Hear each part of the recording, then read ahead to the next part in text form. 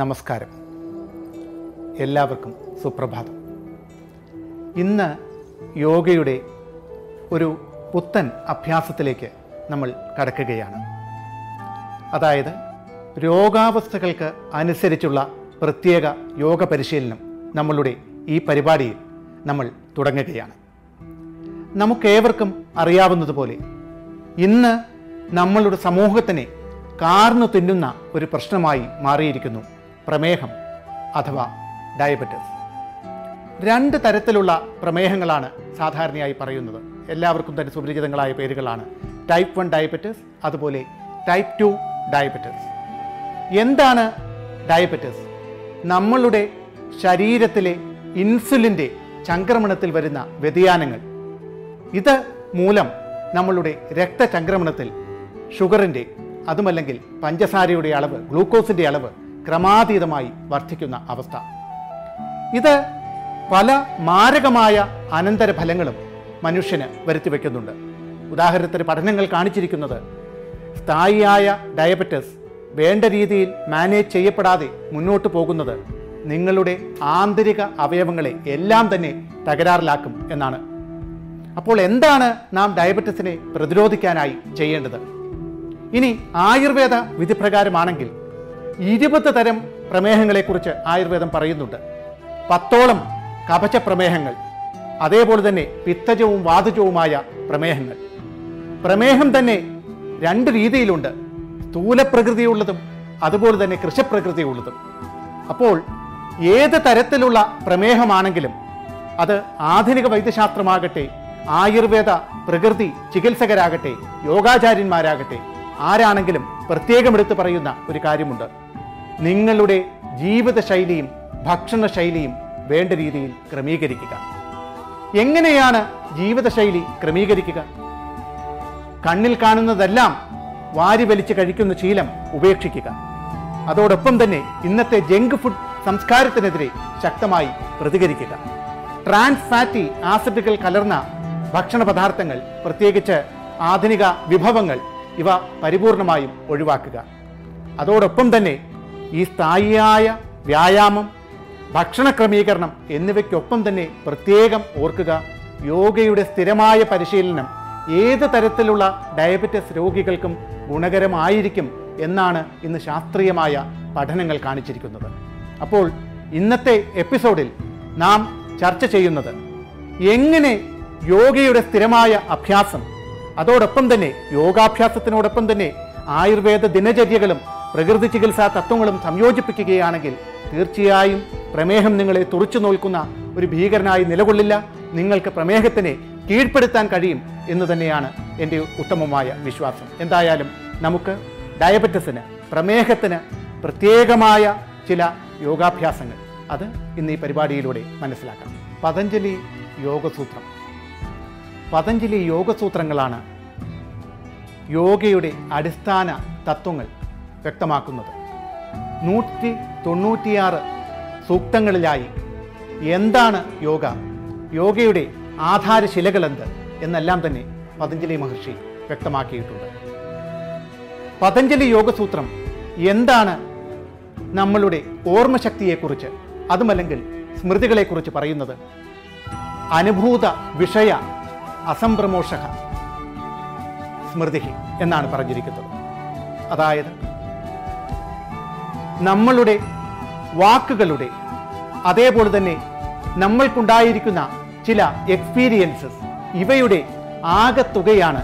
ഇവയുടെ യാതൊരു വിധത്തിലുള്ള മാറ്റങ്ങളുമില്ലാത്ത ഓർമ്മിച്ചെടുക്കലാണ് സ്മൃതി എന്നാണ് പതഞ്ജലി യോഗസൂത്രം പറയുന്നത്. നമുക്ക് തന്നെ അറിയാം പലപ്പോഴും സ്മൃതികൾ നമുക്കൊരു ബാധ്യതയാകുന്നു.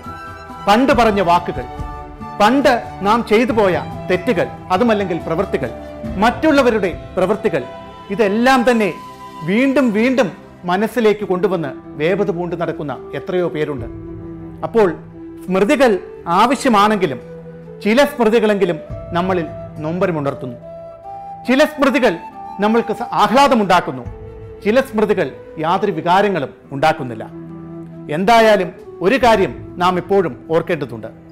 സ്മൃതികളില്ലാത്ത ഒരു ലോകം അതൊന്ന് ചിന്തിച്ചു നോക്കൂ. നാം പറഞ്ഞതെന്ത്? മറ്റുള്ളവർ പറഞ്ഞതെന്ത്? നാം ചെയ്തതെന്ത്? മറ്റുള്ളവർ ചെയ്തതെന്ത്? എന്നും ഒന്നും ഓർമ്മയില്ലാത്ത ഒരവസ്ഥ. എത്ര ഭീതിജനകമാണത്. അപ്പോൾ സ്മൃതി എന്നുള്ളത് മനുഷ്യന് കിട്ടിയ ഒരു വലിയ വരദാനം തന്നെയാണ്. എന്നാൽ പലപ്പോഴും നഷ്ടസ്മൃതികളുടെ നഷ്ടസ്വപ്നങ്ങളുടെ വഴിത്താരകളിലൂടെ അലഞ്ഞു തിരിയുന്ന മനുഷ്യരെയാണ് നാം കാണുന്നത്. യോഗ ഒരിക്കലും നിങ്ങളോട് സ്മൃതികളെ തള്ളിക്കളയണമെന്ന് പറയുന്നില്ല. ഈ സ്മൃതികൾ വേദനാജനകമാകട്ടെ സന്തോഷമുളവാക്കുന്നവയാകട്ടെ. ഏത് തരത്തിലുള്ള സ്മൃതികളാണെങ്കിലും അവയെ ഒരേ ഒരു കണ്ണിലൂടെ അവയെ തികച്ചും ഇക്വാനിമസായിട്ട് നോക്കിക്കാണുവാനായിട്ട് യോഗ നമ്മെ പഠിപ്പിക്കുന്നു. അതുകൊണ്ട് സ്മൃതികൾ നിങ്ങളെ ശല്യപ്പെടുത്തുന്നുവെങ്കിൽ മനസ്സിലാക്കുക സ്മൃതികളെ വേറിട്ട ഒരു കാഴ്ചക്കാരനായി നോക്കിക്കാണുക. തീർച്ചയായും സ്മൃതികൾ നിങ്ങൾക്ക് വേദനകൾ ഉണ്ടാക്കുകയില്ല പ്രമേഹത്തിനുള്ള യോഗാഭ്യാസങ്ങളിൽ പ്രമുഖ സ്ഥാനം അലങ്കരിക്കുന്ന ഒന്നാണ് പരിവൃത്ത ത്രികോണാസനം. എങ്ങനെയാണ് ഈ ഒരു അഭ്യാസം ചെയ്യേണ്ടത് എന്ന് നമുക്ക് വേണ്ടി ഡോക്ടർ ദീപശ്രീ കാണിച്ചു തരുന്നു. ശ്രദ്ധിക്കുക. ഇതിനു വേണ്ടി കൈകാലുകൾ ചേർത്ത് വയ്ക്കുന്നു. Keep the legs and hands together now as you breathe bring the hands to shoulder level and keep the legs legs apart. മെല്ലെ ശ്വാസം ഉള്ളിലേക്ക് എടുത്തുകൊണ്ട് കൈകൾ തോളിന് സമാന്തരമായി കൊണ്ടുവന്ന് കാലുകൾ അകറ്റി വയ്ക്കുന്നു. ഇനി മെല്ലെ ശ്വാസം പുറത്തേക്ക് വിട്ടുകൊണ്ട് മുന്നോട്ട് വളഞ്ഞ് വലത് കൈ ഇടത് പാദത്തെ സ്പർശിക്കുന്നു. As you out touch the right palm to left foot. Look up to the tip of the left hand. ഇടത് കൈയുടെ അഗ്രഭാഗത്തേക്ക് ദൃഷ്ടി ഉറപ്പിച്ച് സാധാരണമായ ശ്വസനത്തോടെ നിലകൊള്ളുക. Maintain the practice with normal breathing ഈ ഒരു അഭ്യാസം നിലനിർത്തവേ. ഉദരഭാഗത്തിന് സുഖകരമായ ഒരു സമ്മർദ്ദം നമുക്ക് അനുഭവിച്ചറിയാൻ സാധിക്കും. ഈ രീതിയിൽ നമ്മളുടെ പാൻക്രിയാസ് ഗ്രന്ഥിയെ പ്രത്യേകമായി ഉത്തേജിപ്പിക്കുന്ന ഒരഭ്യാസം കൂടിയാണ് പരിവൃത്ത ത്രികോണാസനം. എന്നാൽ തന്നെ കടുത്ത നടുവേദന സ്ലിപ്പ് ഡിസ്ക് അടക്കമുള്ള പ്രശ്നങ്ങളുള്ളവർ ഈ ഒരു അഭ്യാസം ഒഴിവാക്കുന്നതായിരിക്കും നല്ലത്. ഏകാഗ്രത വർദ്ധിപ്പിക്കാനും ഈ ഒരു അഭ്യാസം സഹായകരമാണ് എന്ന് കണ്ടെത്തിയിട്ടുണ്ട്. ഇനി മെല്ലെ തിരിച്ചു വരിക.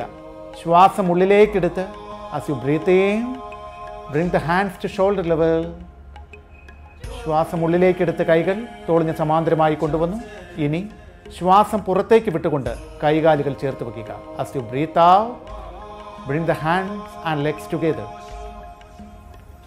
now relax മെല്ലെ കൈകാലുകൾ അകറ്റിവെച്ച് കൈകൾ പിറകോട്ടെടുത്ത് take the hands back neck back and relax Parivritta Trikonasana ശരീരത്തിനും മനസ്സിനും വരുത്തിയിരിക്കുന്ന മാറ്റങ്ങൾ അനുഭവിച്ചറിഞ്ഞുകൊണ്ട് നിലകൊള്ളുന്നു. ഇനി ഇതേ അഭ്യാസം മറുഭാഗത്തു നിന്ന് ആവർത്തിക്കുന്നു.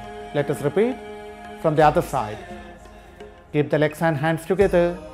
Now, as you breathe in keep the legs apart hands to shoulder level ശ്വാസം ഉള്ളിലേക്ക് എടുത്തുകൊണ്ട് കൈകാലുകൾ അകറ്റി കൈകൾ തോളിന് സമാന്തരമായി കൊണ്ടുവരുന്നു ഇനി മെല്ലെ as you breathe out bend forward and touch the right foot with the left palm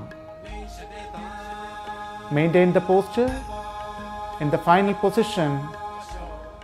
Concentrate on the tip of right hand വലത് കൈയുടെ അഗ്രഭാഗത്തേക്ക് ശ്രദ്ധ കേന്ദ്രീകരിച്ചുകൊണ്ട് നിലകൊള്ളുക. മെയിന്റെയിൻ വിത്ത് നോർമൽ ബ്രീത്തിങ് എപ്പോഴും ഓർക്കുക ഓരോ ആസനവും പരമാവധി സമയം സാധാരണമായ ശ്വസനത്തോടെ നിലനിർത്താനായി ശ്രമിക്കേണ്ടതാണ്. പ്രമേഹത്തിന് വളരെ ഉത്തമമായ ഒരഭ്യാസമാണ് പരിവൃത്ത ത്രികോണാസനം.